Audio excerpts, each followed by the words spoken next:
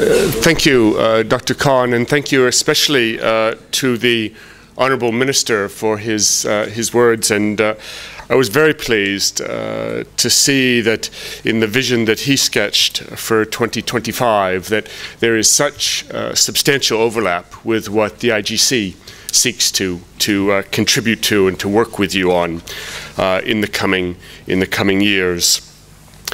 The mission of the IGC, as Dr. Khan uh, said at the outset, is to promote sustainable growth in developing countries and to do this in a different way. Developing countries don't suffer from a lack of advice, but they do suffer from a lack of engagement with partners that are able to work together with policymakers to discover the key questions that need to be addressed to promote growth and to begin together to formulate uh, answers. I hope and believe that IGC offers a partnership with governments that does bridge that knowledge doing gap. That IGC is not about pursuing knowledge, developing knowledge uh, for its own sake, but very much about working with policymakers and other stakeholders in a partnership aimed first at discovering the key growth challenges and the research questions linked to those challenges.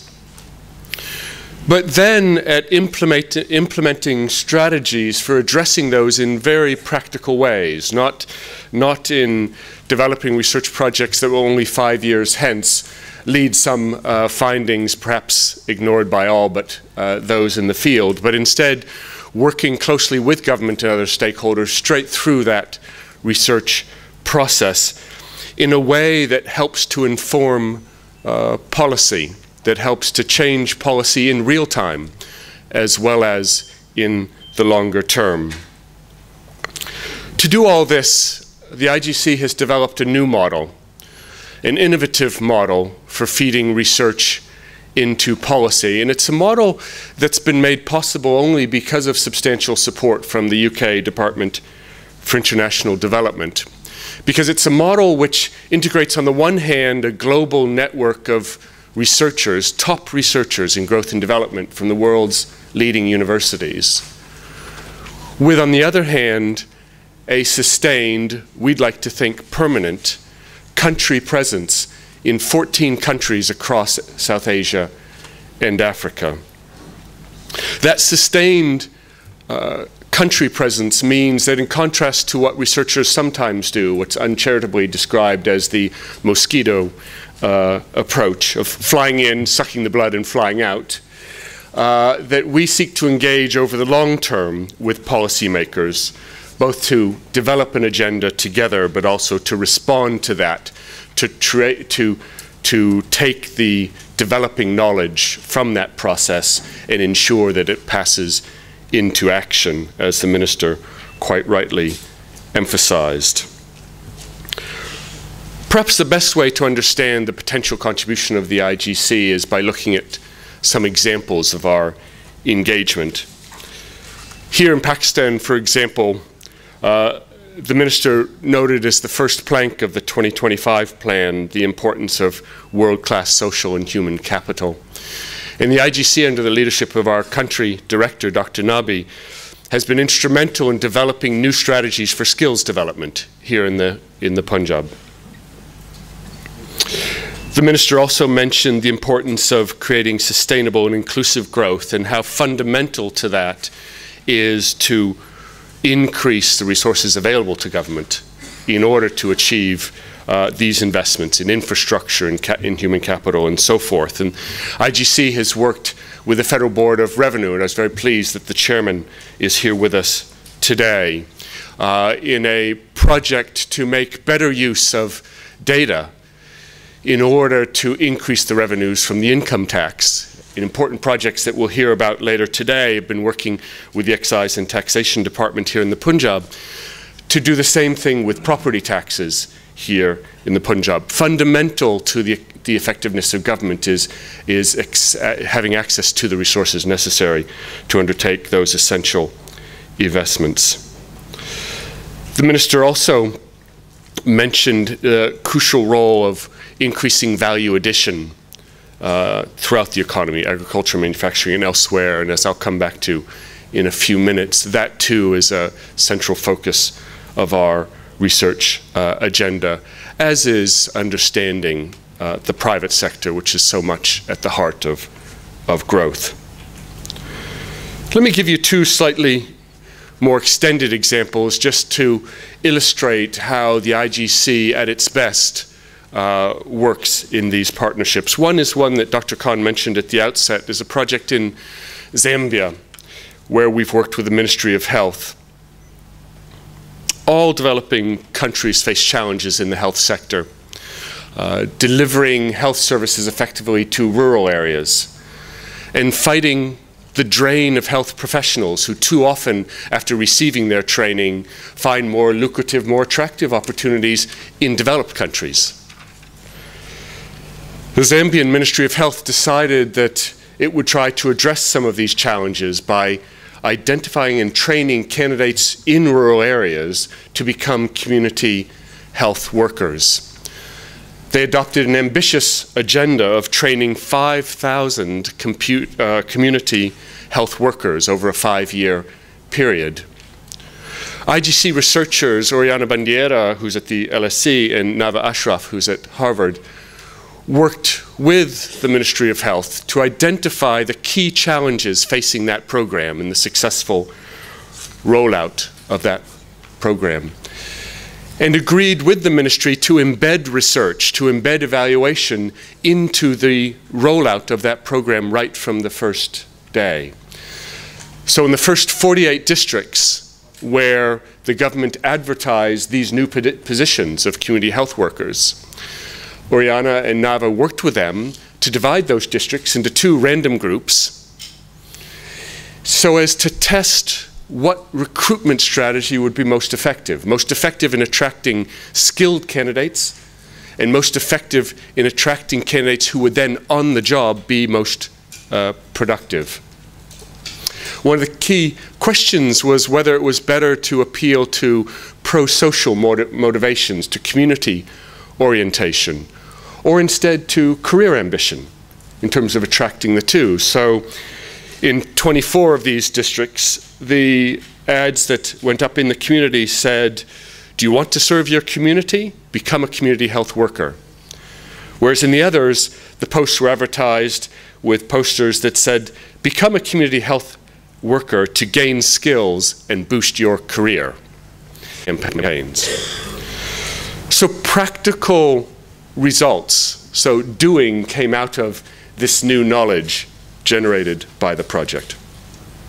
Let me give you another uh, example in the uh, Gujarat in India, where the State Pollution Control Board was interested in whether the auditing policies that were in, uh, part of the common practice for monitoring pollution by firms uh, were effective. And working with Michael Greenstone uh, at MIT with Esther Duflo, uh, Nick Ryan, uh, and others, uh, they developed an approach where they introduced a new uh, auditing strategy. So the existing one was one where firms hired the auditors themselves, paid them themselves, uh, and of course, looking at that from the outside, it was quite clear that there was a disturbing alignment financially between the interests of the firm and the interests of the auditor.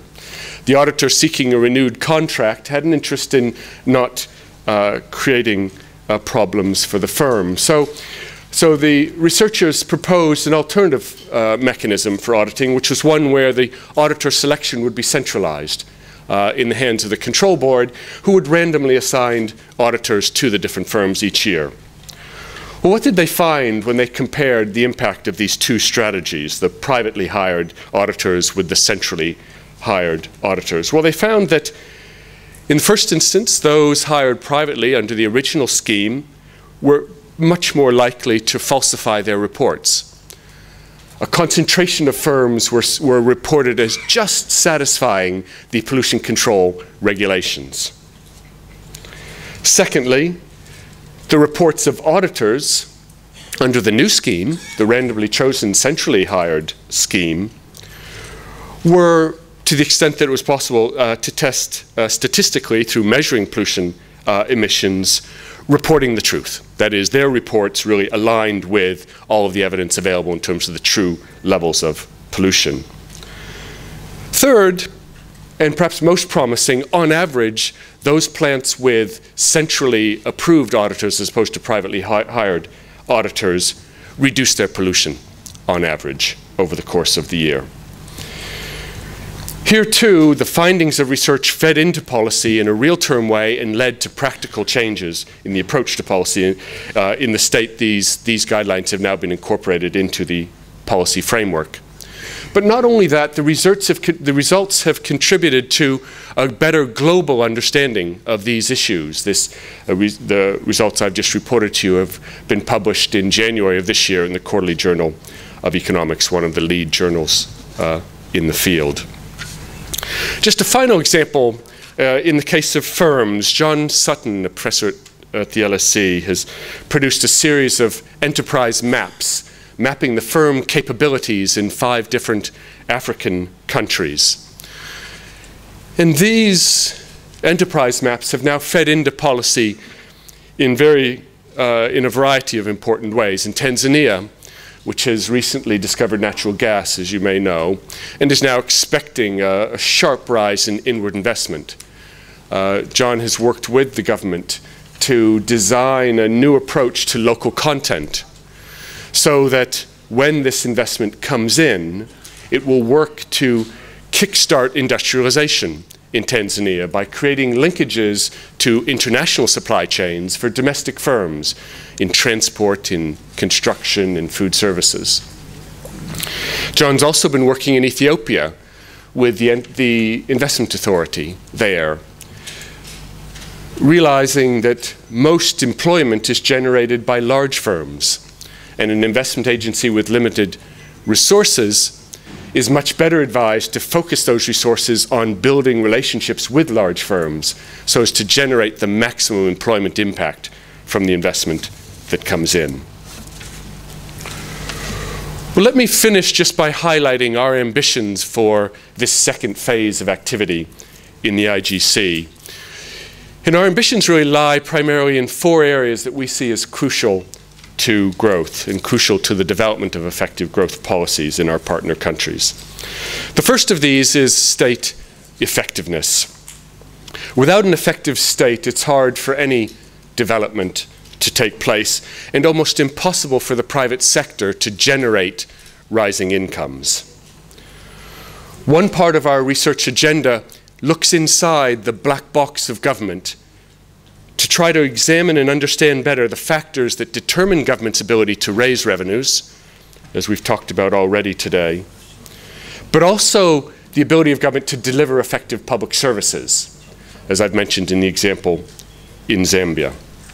Another part of our agenda under state effectiveness is to look at governance and issues of political economy, the challenge of strengthening public institutions to ensure that governments serve the interests of the many, not the few. The second and broadest area of research in this second phase focuses on firms and aligns very much with the minister's seventh pillar of this 2025 strategy, which is the private sector and its crucial role in, uh, in achieving and sustaining growth.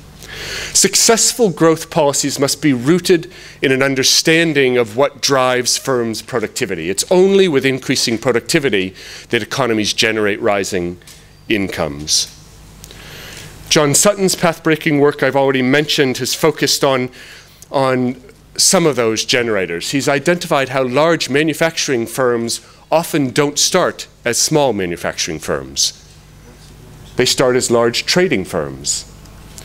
Where that dynamic exists, and it's pronounced in several African countries, policy must respond to that. It's no good throwing resources at SME programs if none of your SMEs ever graduate out of being small businesses. If all of your startups stay in the garage, then it's no good focusing all of policy on, on, on uh, interventions that are aimed unsuccessfully at trying to help them move on.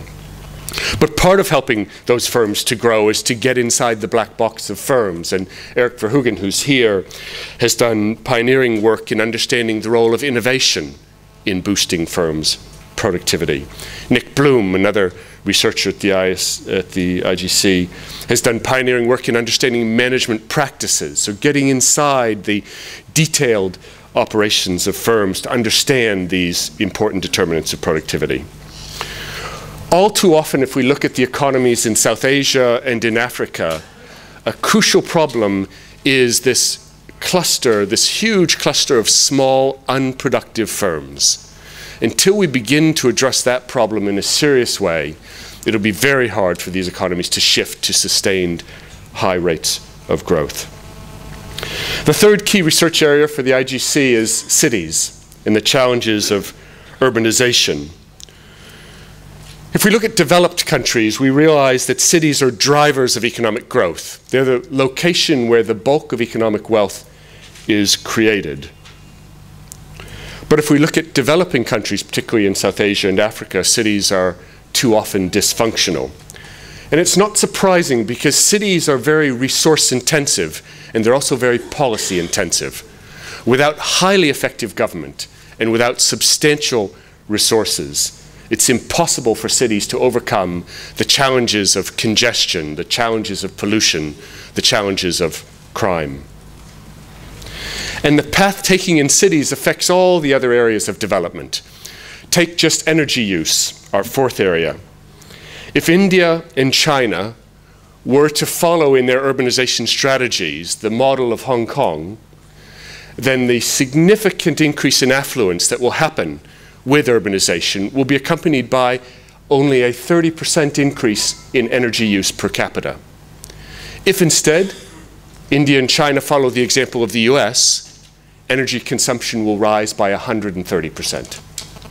So urbanization strategies matter also for sustainability. And that relates to our fourth uh, and final area, which is, which is energy. As we've already uh, discussed uh, yesterday evening and has been mentioned today, one of the greatest challenges to growth here in Pakistan and in, in uh, most developing countries relate to energy.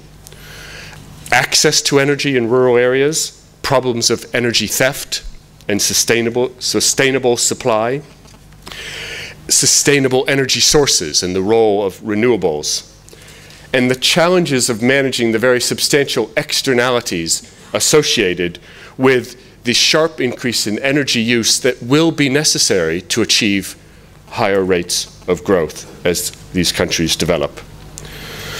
By driving forward research in these four areas, state effectiveness, firm capabilities, cities, and energy, with our 15 country programs, the IGC is, we believe, in a unique position to contribute to the country-specific knowledge necessary for effective growth policies, while also building a global knowledge base that will help countries around the world to support sustainable growth.